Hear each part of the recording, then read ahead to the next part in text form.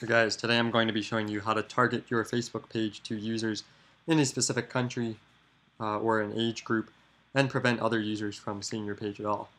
So one very common use of this page is for uh, adult-themed products or maybe for um, products that aren't as uh, kid-friendly or alcohol products. Uh, there's a very simple way of doing this. If you head over to your Facebook page, I have a test account set up here called Toasterman.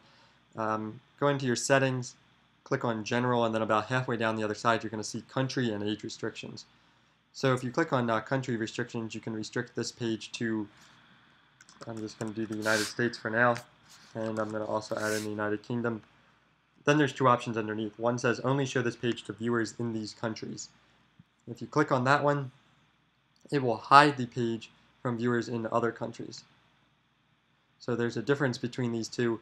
Um, the first one basically it only shows up in search results for those users, but it doesn't prevent users from other countries from seeing it.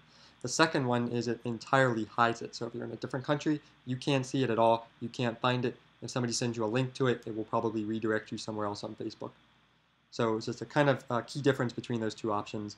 Uh, go ahead and save those changes, and then you can do the same thing down on age restrictions. Um, one thing to note is if you have an alcohol-related Facebook page, you definitely need to use the alcohol related option because that will actually target it based on country uh, laws and regulations for alcohol and not just ages. So you can do, um, maybe it's a cigarette page, you can do pages 18 and over.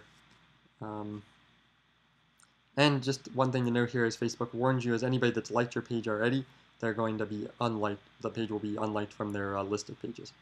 So uh, save those settings, head back over to your page, and you can start posting uh, watch my other videos for how to target further by gender, relationship status, educational status, etc., etc. So thanks for watching, and be sure to leave a comment if you have any questions about this or any other topic.